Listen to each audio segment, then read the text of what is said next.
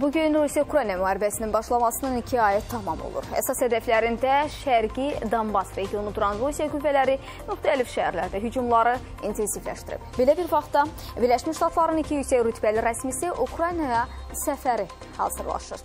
Ukraynanın yardım məsələsində müttəfiqindən gözləntiləri isə yüksəkdir.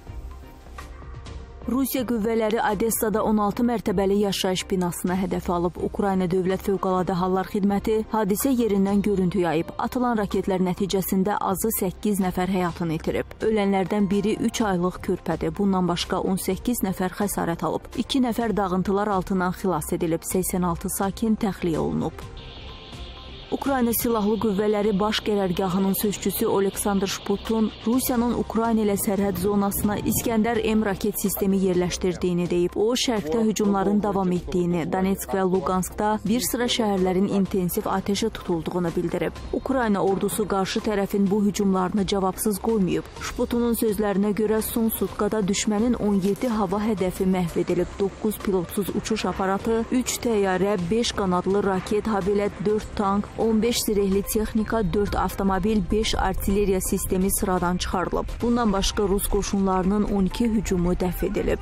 İşğalçı qüvvələr Slobojansk istiqamətində qoşunları qruplaşdırmağa və əlavə bölmələri Belqrad vilayətində cəmləşdirməyə davam edir. İskəndər M raket sistemi Ukrayna ilə dövlət sərhədindən 60 kilometr məsafədə yerləşdirilib. Düşmən Xarkovun blokadasını davam etdirir. Qoşunlarımız və mühüm infrastruktur obyektlərinə zərbələr endirir. Müdafiə qüvvələri bölmələrimizin Karotiçidə hərəkətini çətinləşdirmək üçün düşmən ərazini uzaqdan minalayıb. Donetsk və Tavrida istiqamətlərində təmas xətti boyunca mina atanlardan, top artilleriyasından və çoxsaylı reaktiv sistemlərdən istifadə etməklə qoşunlarımızın mövqelərini atəşə tutur. Severodonetsk, Kuraxiv və Papaysna istiqamətlərində hücum əməliyyatları gücləndirilib. Azovstal zavodunun blokadası davam etdirilir. Düşmən əraziyə havadan zərbələr endirir.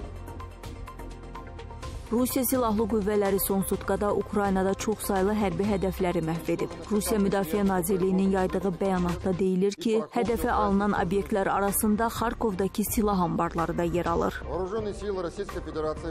Yüksək dəqiqlikli yerüstü raketlərlə Ukrayna Silahlı Qüvvələri üçün partlayıcı maddələr və barıt istehsal edən sexləri məhv etmişik. Rusiya Aerokosmik Qüvvələrinin yüksək dəqiqlikli havadan buraxılan raketləri isə 9 hərbi hədəfi vurub. Bura Ukrayna hərbi bölməsinin komanda məntəqəsi bölgəsi 4 istehkam, habelə şəxsi heyət və hərbi texnikasının cəmləşdiyi yerlər daxildir. O cümlədən Xarkov vilayətinin Barvinkova, Novodimitrovka və Ivanovka ərazilərində 4 raket və artilleriya anbarı vurulub.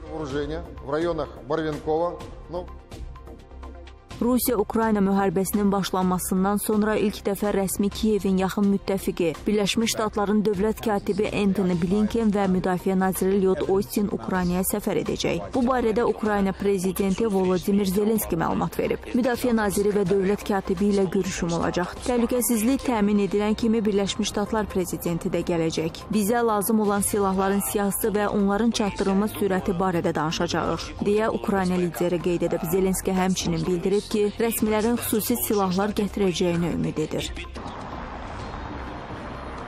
Kiyev sakinləri də Blinken və Ostinin səfərinə münasibət bildiriblər. Onların fikrincə Rusiyanın təcavüzünə müqavimət göstərmək üçün daha çox yardıma ehtiyacları var.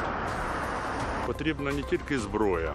Bizim təkcə silah və maliyyə dəstəyinə yox, həm də Amerikalılar və Avropalıların mənəvi dəstəyinə ehtiyacımız var. Söz vermək yox, hərəkət etmək. Məsələn, Rusiyadan bir damcı belə neft almamaqla bağlı qərar vermək və ya burada cinayət törədən insanların İsveçrə, İtaliya, Birləşmiş Ştatlar və Kanada kimi ölkələrdə gizlənə bilməməsini təmin etmək lazımdır. Скоїли у нас тут злочин. Ну, наверное, все хотят Düşünürəm ki, hamımızın daha çox dəstəyə ehtiyacı var.